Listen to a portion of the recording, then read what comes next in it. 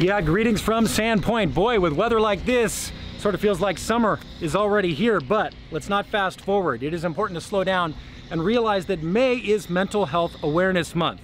And a local father, successful lawyer, and self-proclaimed adrenaline junkie says a horrific injury is what sent him into a tailspin, but he's on the comeback tour. He's raising awareness and about to push himself to the limits with his newfound ability. Paparazzi ahead.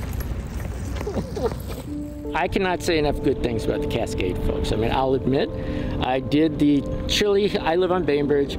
The Chilly Hilly is all those crazy bicycle people that clog up our streets every Friday, every February. And I, before my accident, I didn't like them at all. I've also done the uh, Mount Baker Hill climb, which is very well organized. My PT strongly encouraged me to do it, and the Cascade guys were just fantastic. You know, supporting me, helping me, making sure I was taken care of.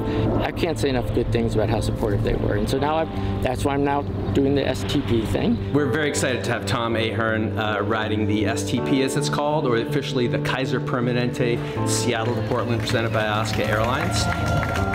This is an iconic bucket list ride for the Pacific Northwest, 206 miles over two days. Most people ride it in two days. Some people will ride the whole thing in one day, uh, but most people like Tom will do it in two days. This is a fully supported ride with water and rest stops and food.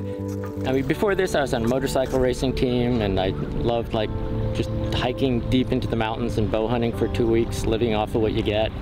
Uh, I was a pretty aggressive snowboarder and actually that's how this happened. I was doing a flip on a snowboard and I didn't quite land it right. And so when my vertebra exploded and that's what then paralyzed my legs. I had to find other things to do. To anyone that's like gotten paralyzed like me, I would have thought it was crazy to do this tricycle thing, um, but it's it's just been a lifesaver for me. This has just mentally been great.